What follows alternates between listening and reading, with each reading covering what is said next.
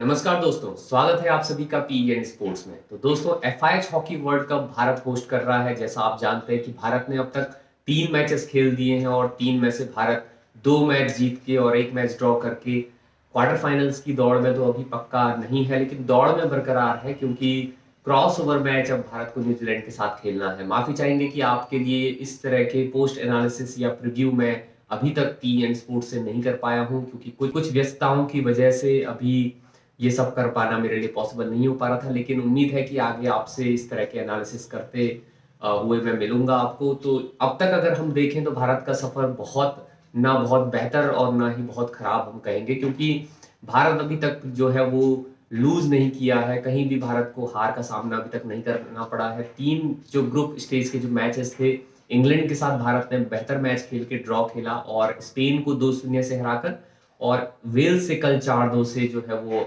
Match को अपने नाम करके उन्होंने अपने पूल डी में जो कि इंग्लैंड ने टॉप किया है जहाँ पे और उसके बाद इंग्लैंड के बाद सेकंड नंबर की टीम जो है वो भारत वहाँ पे होगी, जो कि क्वार्टर फाइनल्स के लिए तो डायरेक्टली अभी तक क्वालिफाई नहीं कर पाई है। पूल डी से इंग्लैंड डायरेक्ट क्वालिफाई कर गया है क्योंकि गोल का जो अंतर था, कल जब वेल्स के साथ मैच शुरू होने वाला था, आप सब जानते हैं कि आठ गोल का डिफरेंस यानी कि आठ शून्य कम से कम भारत को करना था अगर भारत डायरेक्ट क्वालिफाई करती, क्योंकि स्पेन को चार शून्य से एक करारी शिकस्त देके इंग्लैंड ने बहुत अच्छा रास्ता अपने लिए एक ओपन कर दिया था, जहाँ पे भारत के लिए एक बड़ी चुनौती थी।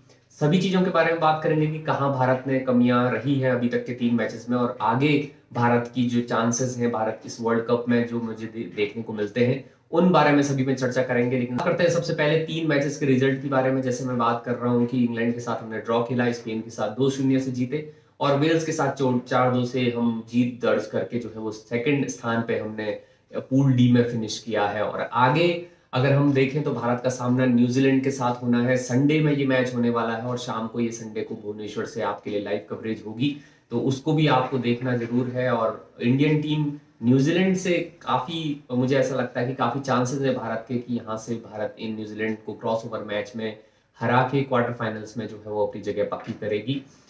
उम्मीद तो थी कि डायरेक्ट भारत क्वार्टर फाइनल्स में अपनी जगह पक्की करे, क्योंकि इंग्लैंड को भी भारत ने अच्छा खासा एक एक की बराबरी पर रोका था। लेकिन कमियाँ कहाँ पे है अभी तक अगर हम देखें तो एक सबसे बड़ी कमी और कल जो मैं इंटरव्यू देख रहा था हरमनप्रीत सिंह और ग्रहम रीड का उन्होंने भी यही कहा है कि अभी तक हमने अपनी बेस्ट हॉकी जो है वो अभी तक नहीं खेली है। जो हमको खेलना चाहिए, सबसे बेहतर परफॉर्मेंस जो हमारा आना चाहिए, वो अभी तक नहीं आया है और उसका जो है भारत के सभी, मुझे लगता है कि हॉकी लवर्स को इंतज़ार है क्योंकि हरमनप्रीत सिंह का फॉर्म जैसा मैंने स्पोर्ट्स यारी का जो एक प्रीव्यू आपने शो देखा होगा, अगर आपने नहीं देखा है तो आप कम्युनिटी बॉक्स पे जाके आप देख सकते हैं। वहाँ पे मैंने लिंक भी उसका डाला हुआ है।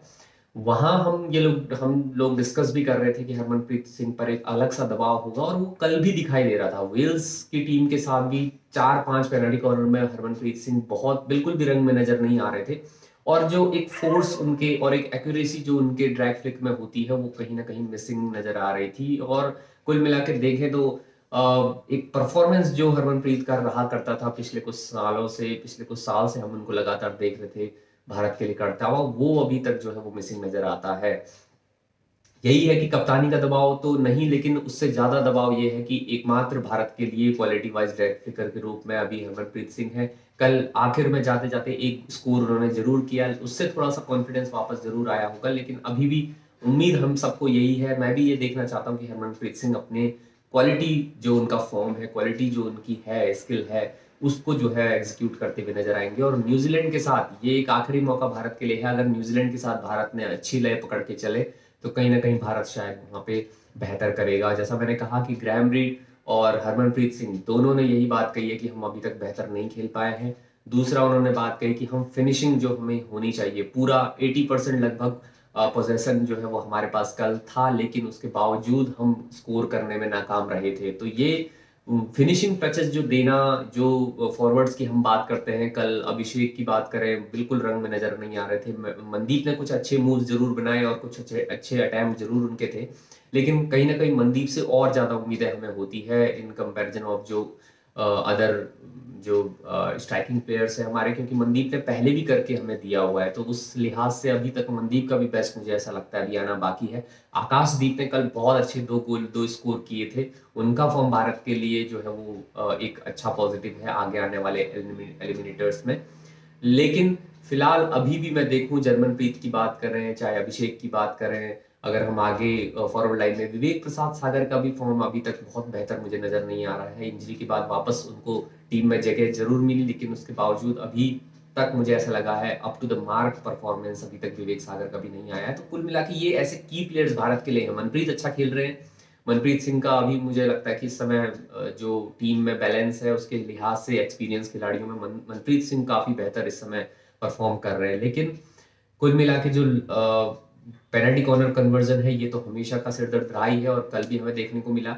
बार बार मैं एक साइकोलॉजिकल टेम्परामेंट की बात करता हूँ, जो भारत में लैक करता दिखता है और कल भी ये आपने देखा होगा। हमने प्रीव्यू शो में स्पोर्ट्स यारी में भी डिस्कस किया था कि टेम्परामेंट आपको अपना मेंटेन करके चलना पड़ेगा और कल भी हमने अपना टेम्परामेंट लूज किया, क्योंकि हमारे मन में यही था कि हमें आठ गोल करने हैं, आठ स्कोर करके हमें डायरेक्ट क्वालिफाई करना है।